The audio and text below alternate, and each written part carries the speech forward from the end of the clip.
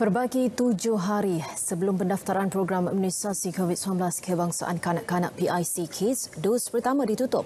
Menteri Kesihatan Kari Jamaluddin menyeru ibu bapa agar mengambil peluang melindungi anak mereka daripada wabak COVID-19. Khairi menjelaskan lebih 1.5 juta kanak-kanak sudah divaksinasi di Malaysia dan ia terbukti selamat.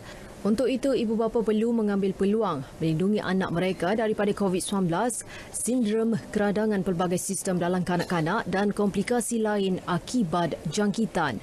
Menurut laman sesawang COVID Now, sebanyak 1.54 juta kanak-kanak atau 43.4% daripada kanak-kanak berumur 5 hingga 11 tahun telah menerima sekurang-kurangnya satu dos vaksin COVID-19 setakat Jumaat.